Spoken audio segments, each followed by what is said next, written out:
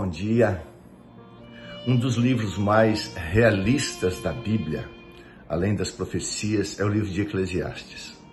No capítulo 1, verso 9, o rei Salomão escreveu: O que foi, será outra vez. O que se fez, se tornará a fazer.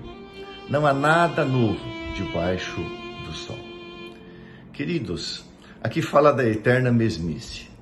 Ano vem, ano vai, Natal vem, Natal vai, daqui a pouco tem as festividades de Ano Novo. As pessoas comemoram a meia-noite, quando o dia começa, quando nasce a primeira estrela. Vivemos essa vida. Envelhecemos, morremos, adoecemos, cansamos.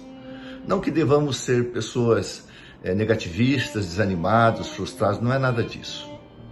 Mas o fato é que depois da entrada do pecado neste mundo, a realidade dessa vida é uma eterna mesmice. É isso mesmo. Não há nada novo debaixo do sol. O que diz respeito à existência humana, o humanismo, a humanidade. O que existe de novo é o que Deus fez, o que Deus está fazendo e fará.